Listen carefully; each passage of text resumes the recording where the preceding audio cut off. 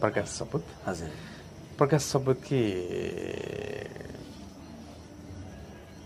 राजु उम्, यो दुईवटा मध्ये चाहिँ मैले राज परियार।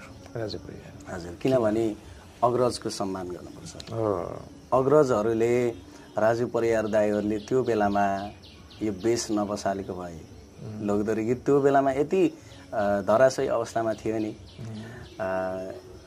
बढी हिन्दी गीतको प्रभाव थियो कि? त्यो। हिन्दी गीत त्यसै गरी सुगम सङ्गीतहरू अनि ऱ्याप गीतहरू बढी त्यो बेलामा रुचाउने जमात थियो। त्यो बेल त्यो क्षेत्रमा त्यो बेलामा त्यो समयमा लोकदोरी गीतलाई धानेर अहिले जसरी लोकदोरीमय भएको छ नि त अहिले अरू गीतहरूलाई जितेर लोकगीत अगाडि छ नि।